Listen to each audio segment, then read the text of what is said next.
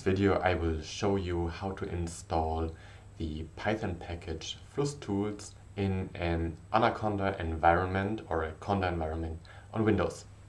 So obviously the very first thing that you need for that is Anaconda. So visit here anaconda.org. So I zoomed here a little bit in that you can see the address. Then go to download Anaconda and you will be forwarded to the download website. So I'm here on Windows, so I'm going to download here the Windows version. It will go here into my downloads folder. So while I, that is downloading, maybe just some words on what is FlussTools and why you may want to use it.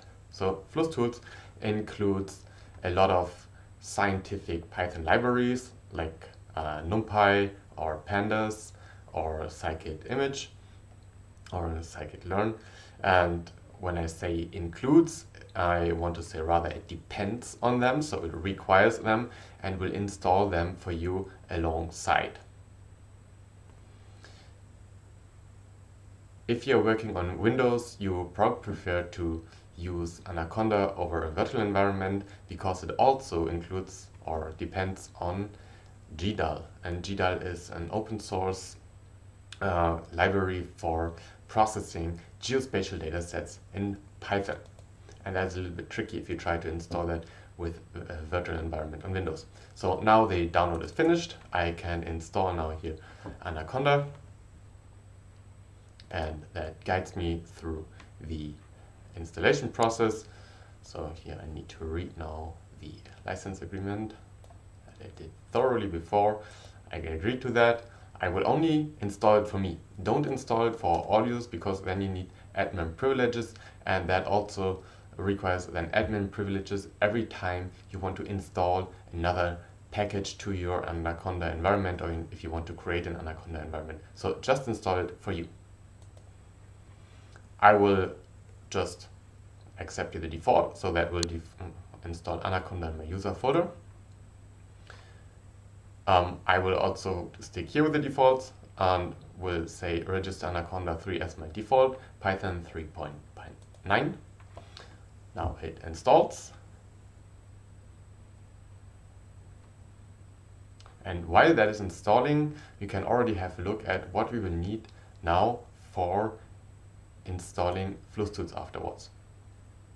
So for that purpose, I invite you to visit hydroinformatics.com. So that is our teaching platform here. You can go here to the software resources section. There you will find a chapter on the installation of Python. And because we're here on Windows, you want to select the Conda Env as a Windows preference. And we will follow basically these seven steps here.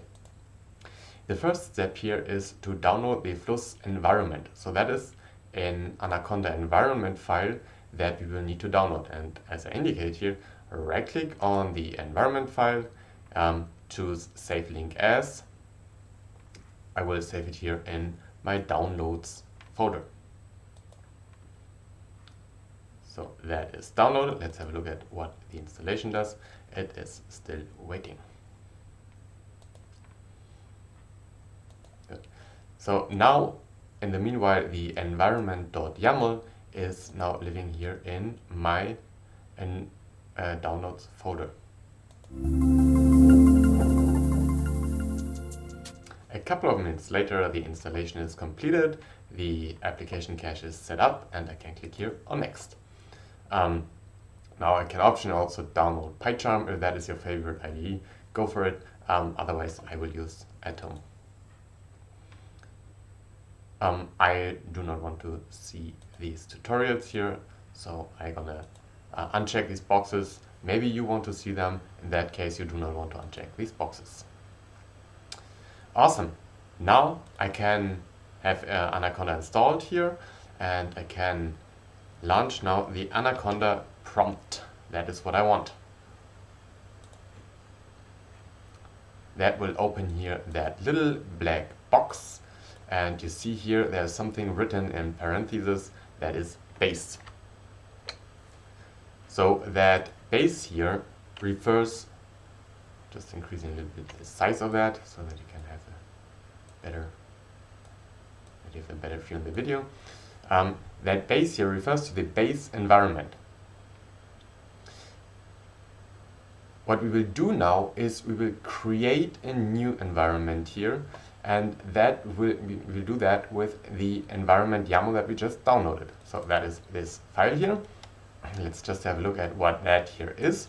So that here will install an environment that is called flussenv.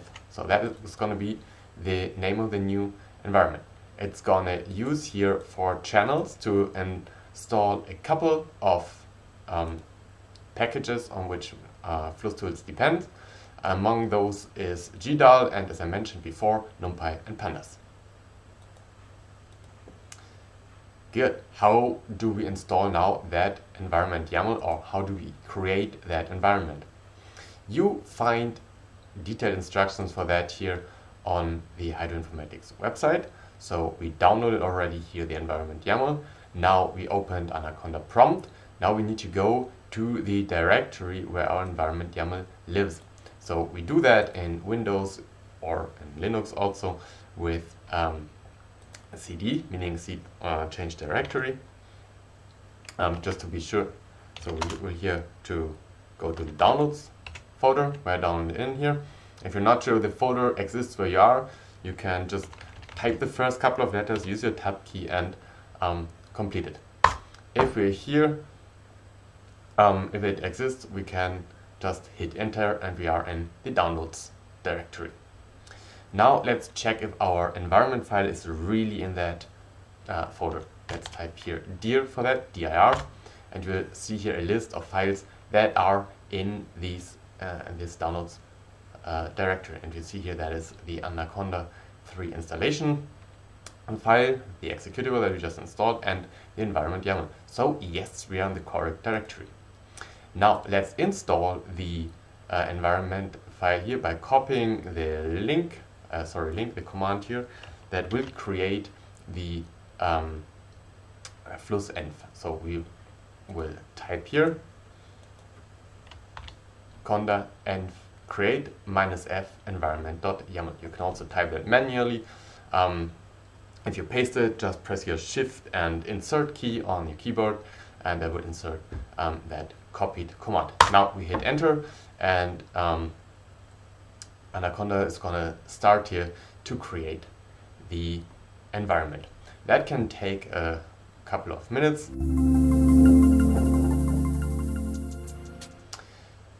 If Anaconda could find all required packages, it will continue, install all of them.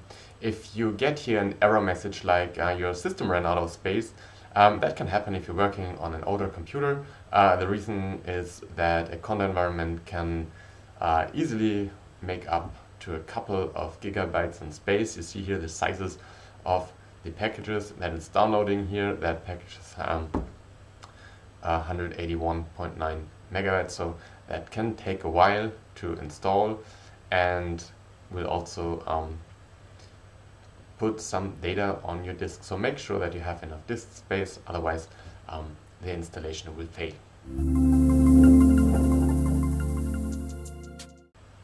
Finally, it's done. The installation is complete. It will tell you here that the uh, transactions are prepared, that the transactions are verified, and the transactions are executed.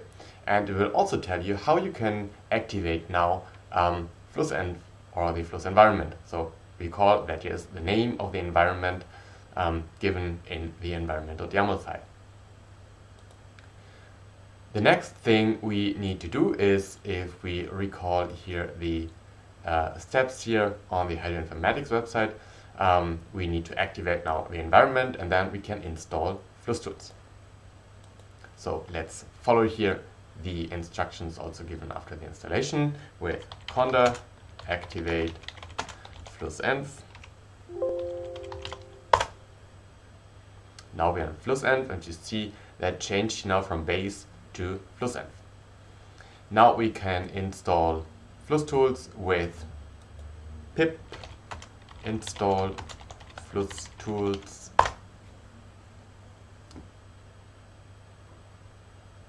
and we'll download now uh, FlussTools and install FlussTools from PyPI.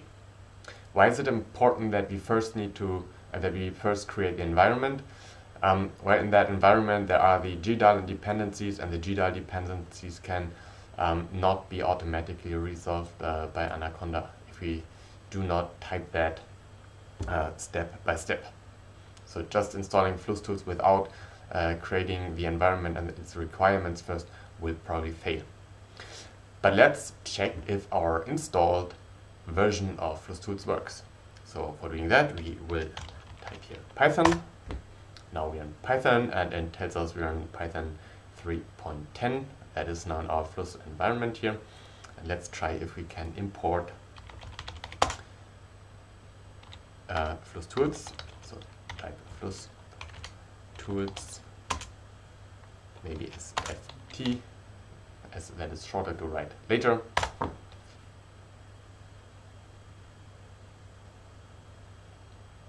That may take a while if you have a slow computer or if you're importing for the first time and you have matplotlib and other packages uh, newly installed, but that works. So FlussTools is installed and we can access it now. So to try if FlussTools really works as we wanted, let's just try to call something that is in it. So for example, it has a NAN, not a number value, that it will use for raster pixels and geospatial datasets and we can call it by typing here ft.nan dash or underscore value and that returns us its NAN value. So everything works, alright, you're ready to work now with the Env and FlussTools in your favorite IDE. If you want to learn more about Fluss tools and what you have um, as functions available in that package, I invite you to visit our documentation on readthedoc.docs.io. So that's flusstools.readthedocs.io. Um, you will find here documentations about uh, geospatial functions. So, for example, um, example code blocks, but also every function that is in here. So, if you want to convert a float raster to an integer raster, you will find that here. If you want to convert a raster to a line, um, a raster to a polygon, so all these functions that are in FlussTools are documented here on readthedocs.io. Um, the creation of these functions are also featured on hydroinformatics.com um, in the tutorials for learning uh, geospatial Python. Thanks for watching and have a great experience